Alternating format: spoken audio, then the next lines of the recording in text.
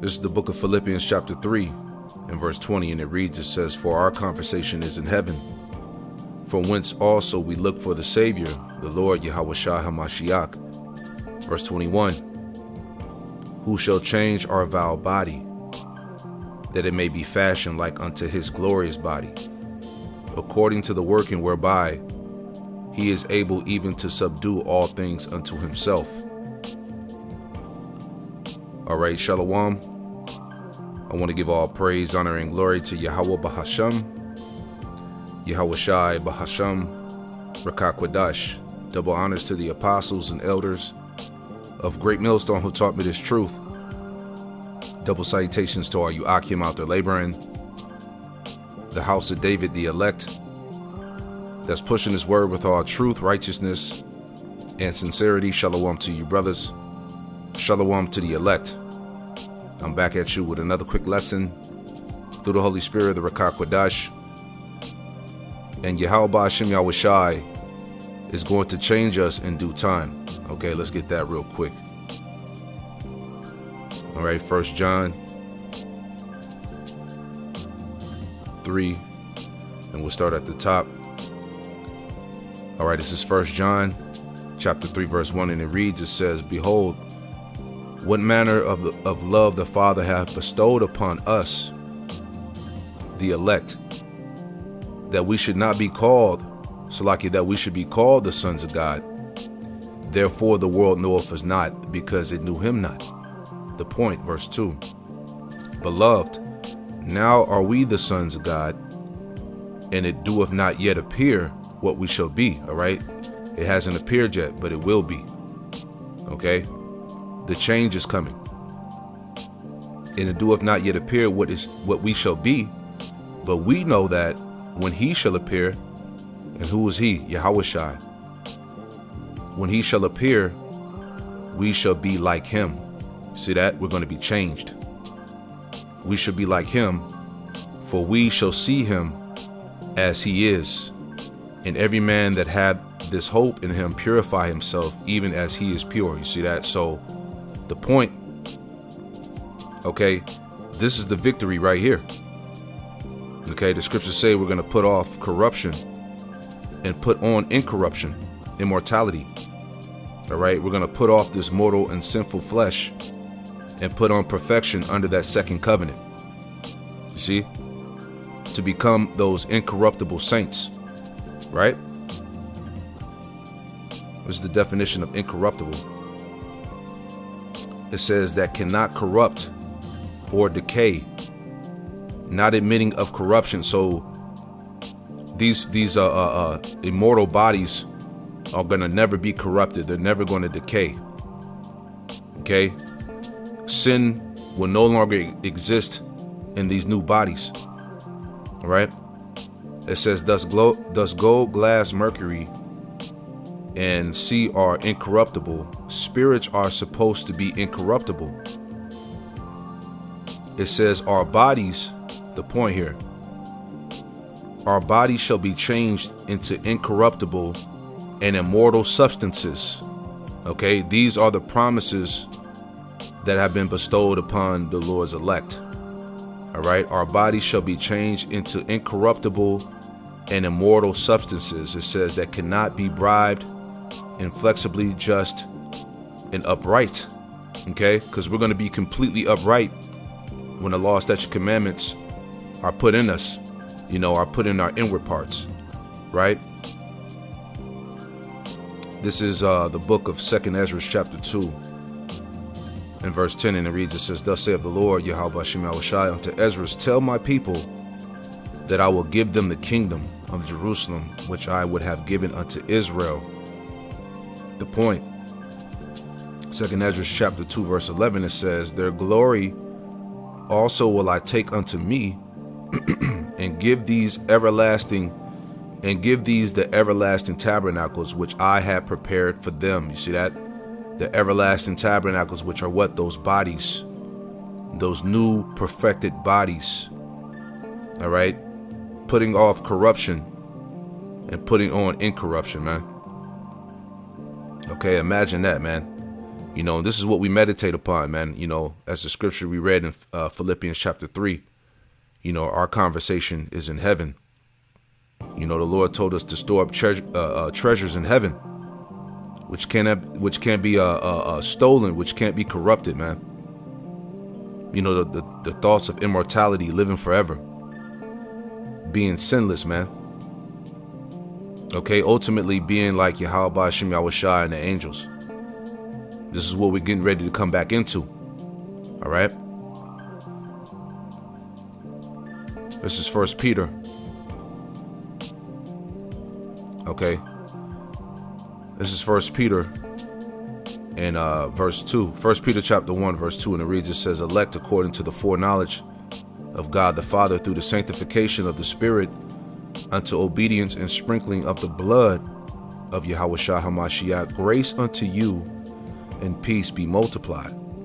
Verse 3. 1 Peter 1 and 3 it says, Blessed be the power and Father of our Lord Yahweh Shah HaMashiach, which according to his abundant mercy have begotten us again unto a lively hope by the resurrection of Yahweh Shai HaMashiach from the dead.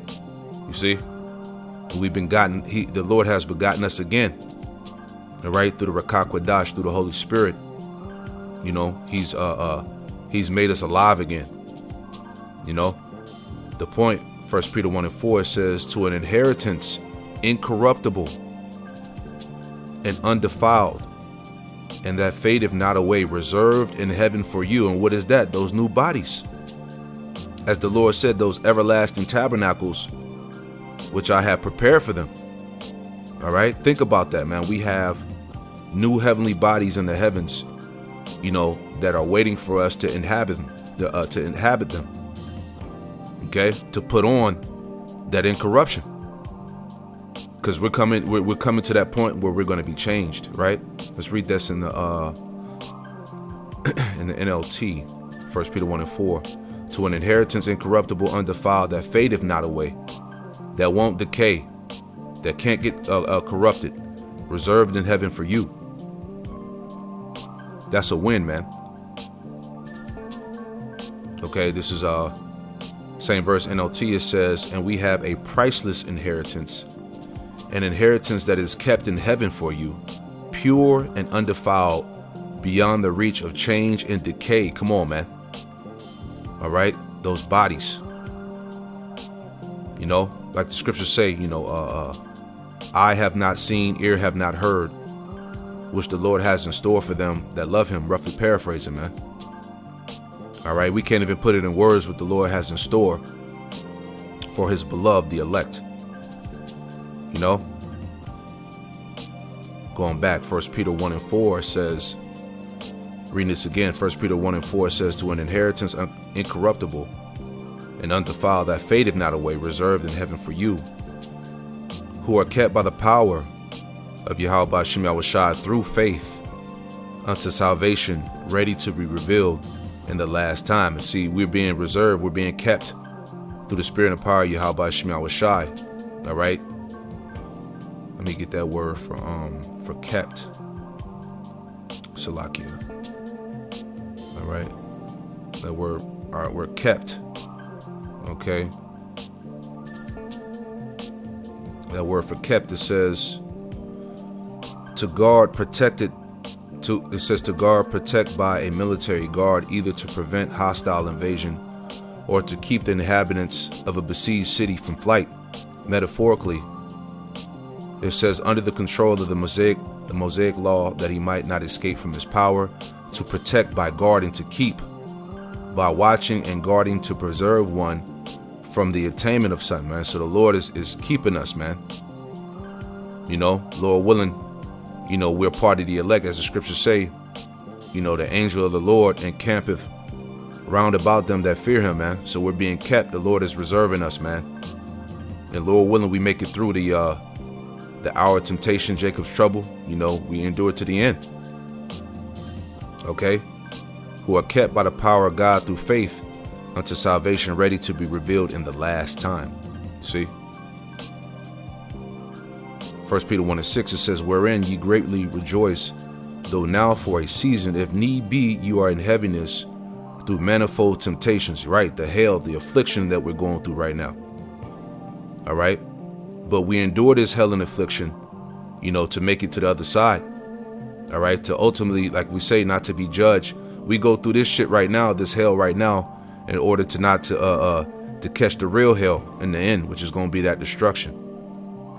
You know, because after the destruction is when is when we're going to live again. Okay, the destruction has to come for, come first in order for us to uh, uh to live, you know, uh, immortality, you know, to be immortal. It says that the trial of your faith being much more precious than of gold that perishes, though it be tried with fire, it might be found unto praise and honor and glory at the appearing of Yahweh Shah HaMashiach, whom having not seen ye love, and whom though now you see him not yet believing. You see that? Even though we haven't seen Yahweh Shemel Washai, all right, we believe everything that he says, right? Yet rejoice, ye, ye rejoice with joy unspeakable and full of glory, receiving the end of your faith, even the salvation of your souls, all right? And part of that salvation is also what? Being upgraded and changed. Okay? Salvation, immortality, being changed is all in the same breath. All right? Let's get this too. Okay, this is.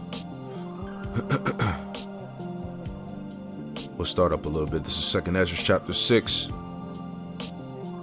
Okay, this is Second Ezra chapter six, and I'll start at um, we'll start at 18 and read down. Second Ezra chapter six, verse 18, and, and, and it reads, it says, "And it said, Behold, the days come that I will be that I will begin to draw nigh, and to visit them that dwell upon the earth." Yahweh Shemel Slakia.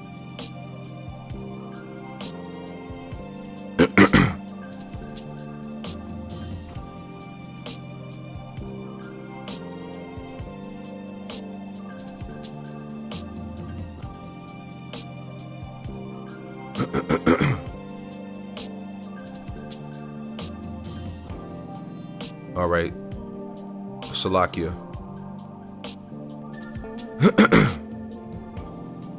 Second Ezra chapter 6, verse 18, and it says, And it said, Behold, the days come that I would begin to draw nigh and to visit them that dwell upon the earth. Yahweh Shem Shai is coming to visit the world which he made. Verse 19, it says, It will begin to make inquisition of them what they be that have hurt unjustly with their unrighteousness, and when the affliction of Zion shall be fulfilled, and we're in that time. All right, the Lord said that, uh, you know, the Lord said that our welfare was accomplished, according to um, Isaiah the 40th chapter, and now we're in the time of that salvation. Verse 20 says, "And when the world that shall begin to vanish away shall be finished. Then will I show these tokens, these signs. The book shall be open before the firmament, and they shall see all together. All right, going into what the prophecies, the Lord using the um the unicorn, the World Wide Web, all right, to push forward this uh this this gospel. Okay, this is how the elect, you know, were waking up, you know, by the way of the unicorn, the internet you know, they shall see all together. Right? It says, And the children of a year old shall speak with their voices, the women with child shall bring forth untimely children of three or four months old, and they shall live and be raised up. And suddenly shall the, the sown places appear unsown, the full storehouses shall suddenly be found empty, going into the famine and food shortages, the time of trouble. It says, And the trumpet shall give a sound, which every man heareth, they should be suddenly afraid. All right, and the prophets are given the, the uh, giving the sound, giving the warnings. All right. It says, At that time shall friends fight one another, one against another like enemies, and the earth shall stand in fear. With those that dwell therein, the springs of the fountains shall stand still, and, and in three hours they shall not run. Whosoever remaineth from all these that I have told thee shall escape and see my salvation, and the end of your world. You see that? The point. It says, And the men that are received shall see it, who have not tasted death from their birth. All right, so everybody's not going to die. Okay? It says, And the hearts and the heart of the inhabitants shall be changed and turned into another meaning. You see that? Because we're going to be upgraded, man.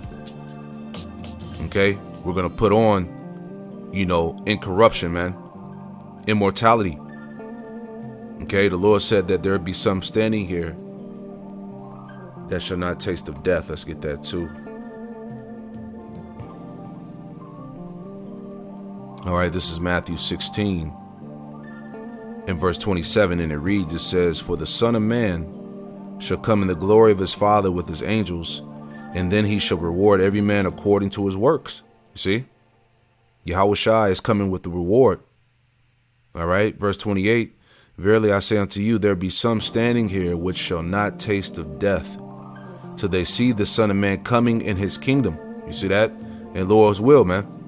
We be one of the, the ones that don't taste of death, man and we see Yahweh Hashem Yahweh coming, you know, in the, in the, in the, with His glory, you know, and we be taken and we be changed, you know, because that's what's coming. The destruction, all right. As I said, the destruction has to come first in order for the change to come. Let's make that point too, right? Let's go to um. Let's go to Second Esdras, right? You know, just speaking about being changed and being turned into those incorruptible saints. All right, let's go to Second Esdras.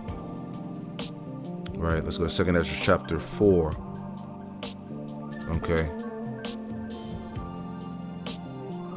We're gonna get straight to the point. Okay, this is Second Esdras chapter four.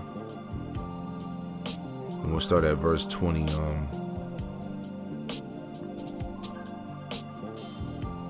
let's start at 23 or 22. Second Esdras 4 and 22, it says, Then answered I and said, I beseech thee, O Lord, let me have understanding.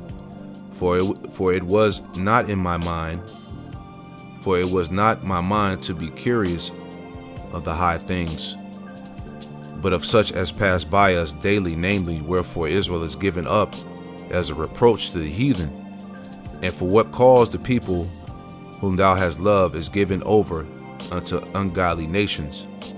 And why the law of our forefathers is brought to naught, and the written covenants come to none effect, and we pass out of the world as grasshoppers, and our life is in astonishment and fear, and we are not worthy to obtain mercy. What what will he then do unto his name whereby we are called of things have I asked, then then answered he me and said, The more thou searchest, the more thou shalt marvel. For the world hasteth fast to pass away.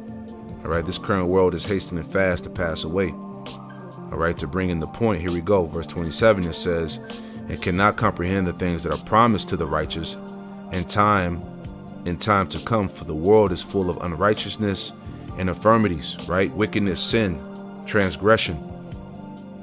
Okay? But as concerning the things whereof thou ask, askest me, I will tell thee, for the evil is sown, but the destruction thereof is not yet come. If therefore that which is sown be not turned upside down, right, which is basically America, Babylon, if this place is not rooted out, turned upside down, and if the place where the evil is sown pass not away, then cannot it come that is sown with good. So the kingdom of heaven can't be established until what America is destroyed to this current power structure is, is removed. All right? Then the good can be sown in the earth. You see that? So going back to my point, all right, the destruction would have to come for come first in order for us to receive of that immortality. All right, this is Second Ezra chapter 7 and verse 43. And it reads, Second Ezra chapter 7, verse 43 it says, But the day of doom shall be the end of this time. See that?